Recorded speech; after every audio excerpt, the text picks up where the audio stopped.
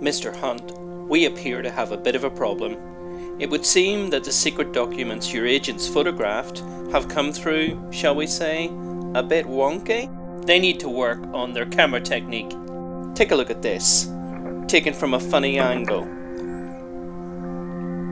Not enough light.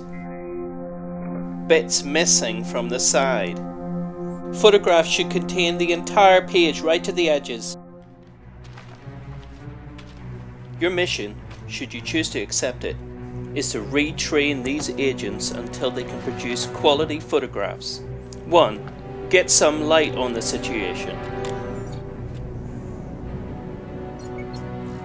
2. Adjust your camera. 3.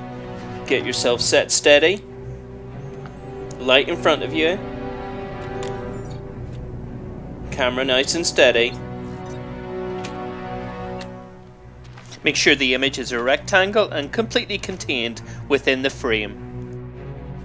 And then repeat until it becomes completely effortless.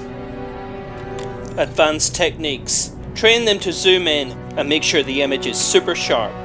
When they're certain it's nice and sharp, bring it up in your images and take a screenshot.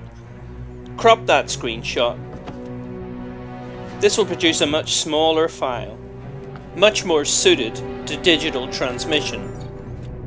Save it to your photos. Open it and zoom again to make sure it's still totally readable. Stay with me, Ethan. Take it to Google Classroom and go to the assignment. Slide up from the bottom.